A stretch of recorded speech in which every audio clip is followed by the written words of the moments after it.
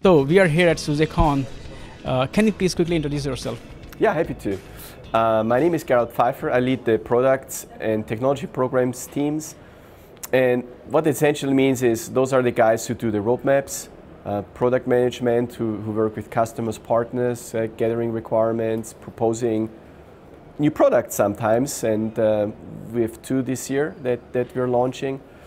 Um, but also the teams that work at the technical level with our technology partners. So think hardware certification, think uh, software certifications, um, or the guys who make sure SUSE is available in uh, all the major public clouds. Uh, now let's talk about the, because the Leap, uh, OpenSUSE and SUSE kind of slash came together closer. Before that was two different words. Uh, so, so can you uh, quickly tell about what is upstream for what? Because from what I understand, things going tumbleweed, I think factory where you code dump and then it goes tumbleweed, then slash pick something, SUSE pick something, and then again, you know. Uh, so can you please quickly talk about the flow of the code? Yes. Um, so we have OpenSUSE and, and uh, as a project, um, which is now more than just a Linux distro, but uh, OpenSUSE now features two Linux distributions actually. One is OpenSUSE Tumbleweed, which is the, is the leading edge. Sometimes a little bleeding though. Um, there is a lot of, of automatic quality assurance going on and we, we can talk about that a little later. Um, so that's, that's Tumbleweed and Tumbleweed is the upstream of SUSE Linux Enterprise. So when it comes to doing uh, something like SUSE Linux Enterprise 15, we actually use Tumbleweed as, as the base for that and do, then do the features, add potentially additional components, do, do the whole quality assurance cycle for enterprise distribution, etc.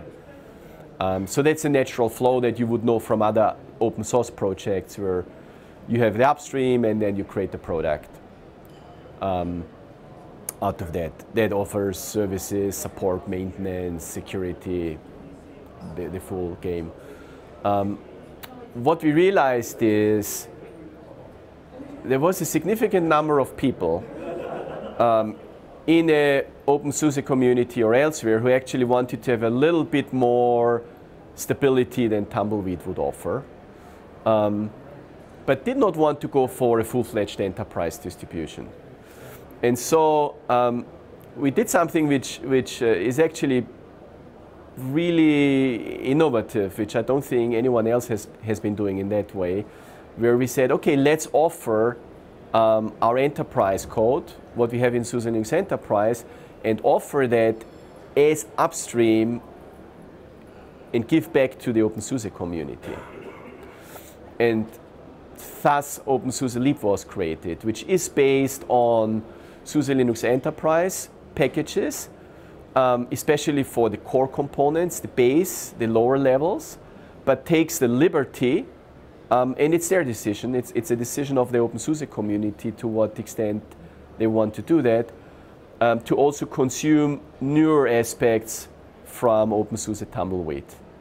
Um, so in a way that, that gives you gives you a longer um, life cycle, that gives you some some of the benefits of SUSE Linux Enterprise. It may give you some innovation quicker than you would get from, uh, from regular SUSE Linux Enterprise.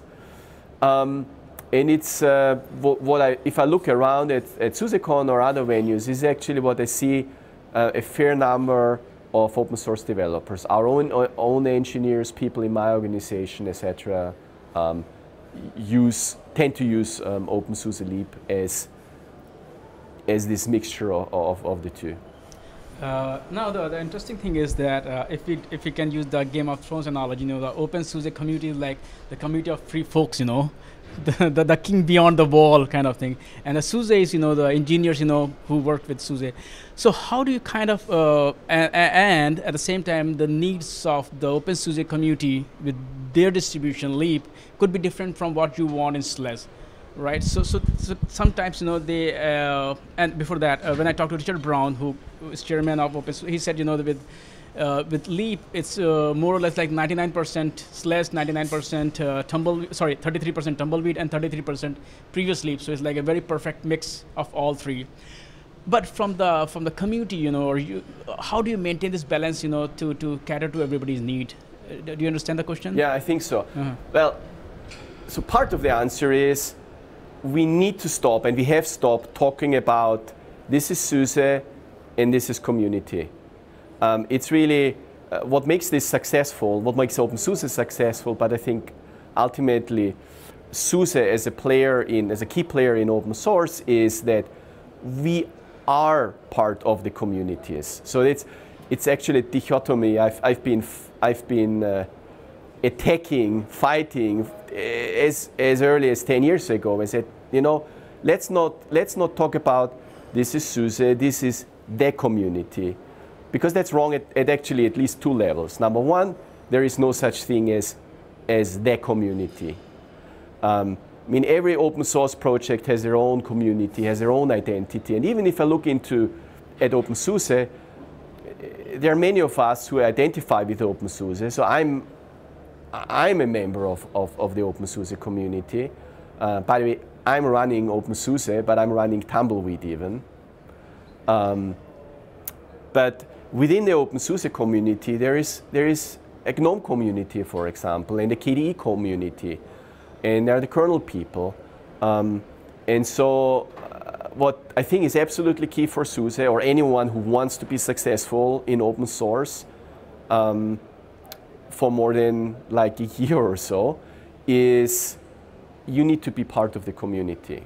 And, um, and so, talking about you know, requirements, desires, if you wear several hats, you know, I do, I'm responsible for, uh, for for business on the on the SUSE, the company side, but I'm also a member of the OpenSUSE community, and you know I I don't contribute mm, code these days. It's mostly bug reports and other things.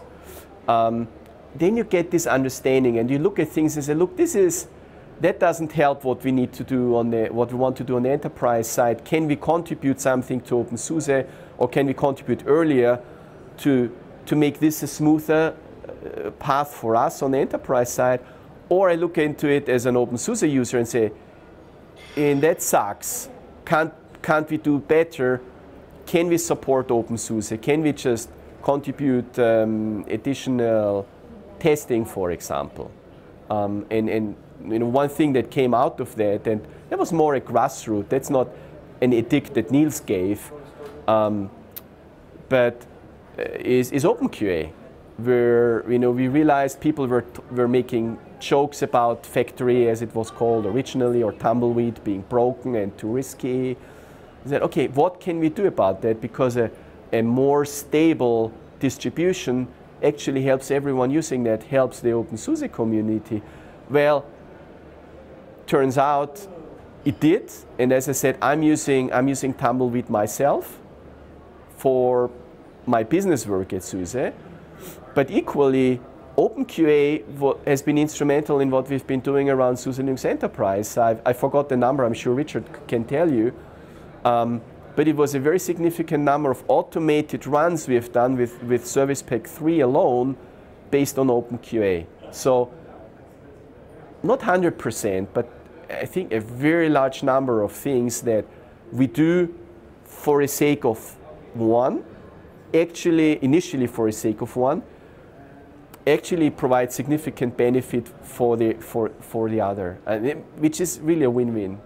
Uh, yeah, I'm also a Tumbleweed user, so I can uh, uh, imagine how many bugs reports you're filing, you know, uh, because like rolling release distribution.